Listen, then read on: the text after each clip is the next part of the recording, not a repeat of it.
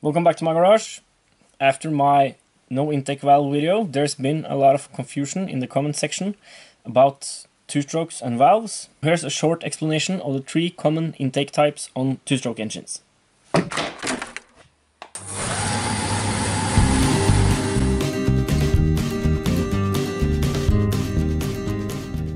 First up is the reed valve. This is most common nowadays. And it's basically a one-way valve. So there's these flaps and they let flow go through in this direction, but not in this direction. It sits into the crankcase like this, and the carb is out here, and flow is going through from the carb and into the crankcase. Next up is rotary valve. This is what I'm running on the SPX. Check out my videos on that one if you haven't. I'm running methanol and nitromethane and I'm currently porting the cylinder, shooting for some serious power. The rotary valve is just a disc. There's a hole into the crankcase. The carb sits outside this hole and the disc covers the hole and uncovers the hole at your liking.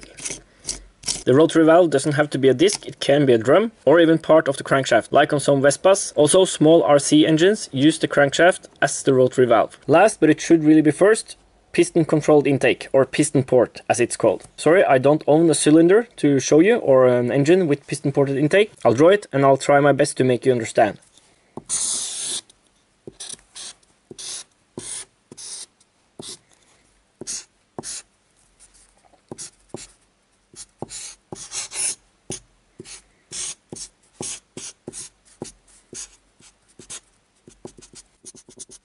So this is a piston controlled intake. This is the crankcase. Here's the piston.